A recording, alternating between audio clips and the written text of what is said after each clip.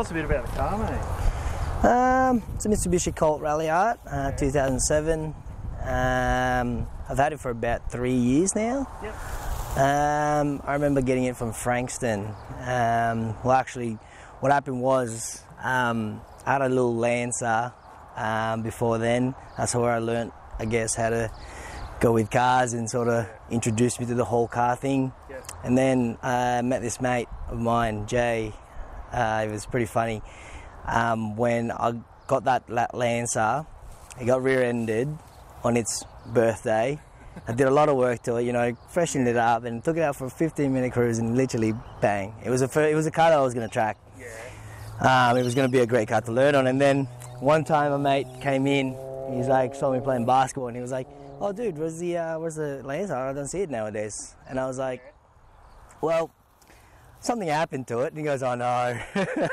Showed him the pictures, and then he goes like, "Oh no!" So what's next? I was um, thinking about the next car, which was um, the lineup was actually the MPS Oh, yeah, uh, XR5 Turbo. Yeah. Um, something rear wheel drive. I thought about V35 or 350Z, and I was like, oh yeah, those, those could be a cool, pretty, uh, cool little cars that you can drive. Um, but he goes like, mm, okay. Um, but I said, I really want a car that you know do a lot of gore. You know, I can I can have a lot of fun in the gore. That's the, the best thing about it. And then he said, he goes, he goes to me, he goes, have you ever have you ever driven a Colt Ralliart? I looked at him and I was like, come on, man. You don't have to do me like that.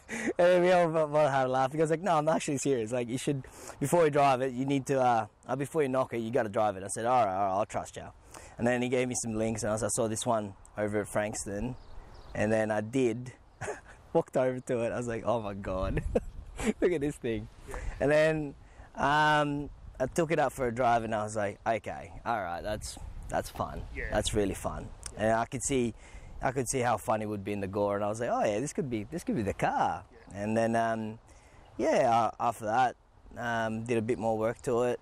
Then it was the first car that I tracked, and then um, it just snowballed from there. And then 300,000 later, 300,000 kilometers later on, it's still It's still kicking. all right. Yeah, it's not How bad. many Ks did it have when you bought it? Uh, 178. Okay. Yeah, with no coolant and very, very dark oil. That's what I remember it.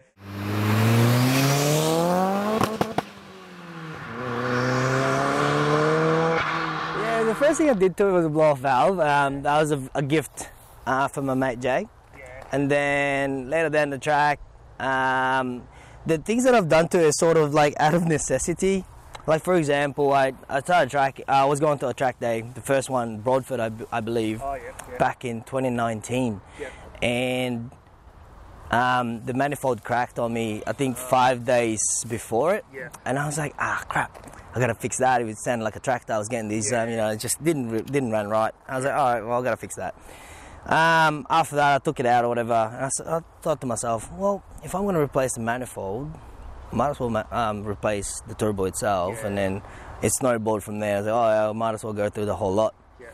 But I think the in terms of path uh, mods wise, um, the the whole build was actually for just to, to be a really fun like Great Ocean Road runner. Yeah.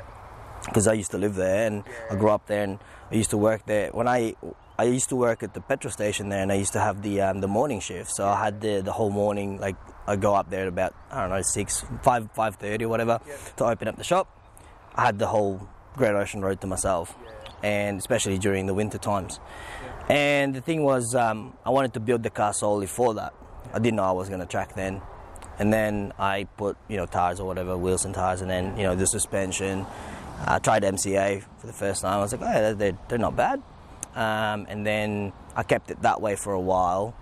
And then I managed to find some parts because it's really hard to find parts for it obviously. So I managed to find some parts that are like off you know record colts that are you know that bin their colts or whatever and oh it's still got some parts on it. I'll be able to snatch that off them um, so I started going with the power, and I was like, oh yeah, it jumped from 90 kilowatts at the wheels to I think it was like 110, 120 kilowatts at the wheels, and that was like a hoot to drive.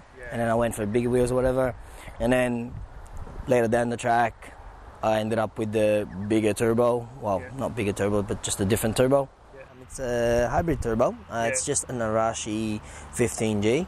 Yep. Um, it's just what it is essentially is uh, pretty much the same exhaust housing, Yep. Um, different internal, slightly bigger compressor wheel. That's that's all it is. And yeah, and and bigger wastegate, uh, internal wastegate, and it's been a popular choice for um, the Colt community. Um, and we made pretty much about 150 at the wheels, and then it's not bad for you know, it's like a, yeah, small car. weigh? 1100? Yeah, 1100, like somewhere around there. Um, so it's not bad. It it boogies uh, for what it is. But the thing was, I wanted to um, make it as linear as I can, as be as responsive as I can, to, to make it a really fun go run. It's not about top end. Yeah. And the guy that tuned it actually was from SA, and he drives a Colt himself. He hill climbs one. He loves it to bits. And he did it as a remote tune. Um, in terms of setup, though, as engine wise, we got the turbo, um, you know, LSD now, so it's pretty good. Yeah, I see you put that in. That makes a big difference. Like, Huge. It changed the car. I was like, I remember when that was a, a month ago or whatever. That that last uh, Winton double dayer. Yeah. It just changed the car. I was like, I, I don't remember being able to um, hit this apex. I, I remember just sliding off. Yeah. It just like holds it, and you can actually start powering the powering out of corners, which was fantastic. It took me a while to get used to that, but um, yeah, and it was relatively easy to put in. Yeah. Um, when I, when I put literally when I split them up, it just popped out. It was like, oh yeah. I remember people always jumping in the car, like, "Oh, how's the torque steer on this? Is it real bad?" I was like. "It's not that bad, man. Like, just just hold the hold the steering wheel, you'll be fine." and Like, what would you say to anyone that's looking at buying one? Um, that's a great question. I, I do get a bit of um, a fair few questions about that over, you know, obviously Instagram and um, on Facebook. And people reaching out, um, oh, how's, you know, what what I, what I should look for. I think definitely go for it because they're so cheap. they're so cheap. Even even with the COVID phase went through and some some cars went up, they stayed relatively, you know, the same. It's like you know, ranging from six to eight. So it's really good, a really good condition. You'd be looking at nine or ten. Um, but yeah, definitely because they're so cheap and they're very reliable and it's a good car to learn on. And you know, the, the parts won't cost you as much. Um, and some some Colt parts, the basic Colt parts can fit. Some don't. You just gotta find which ones which. But no, definitely, I think it's a it's a fun little car to get into, uh, especially for those like like myself back in you know last year whatever starting out track. It's a it's a good car to start learning. Yeah, it's funny. There's this car. Every time I, I remember bringing it on, bringing it to meets uh, over in Melbourne, and they just it's just like this little and you see the the other cars, the Supras and the, the GTRs and everything. And even with my mates, just lining them up, it always looks out of place. And then when you drive it, it's it's pretty quirky because it's just a car that shouldn't be doing that stuff. You know?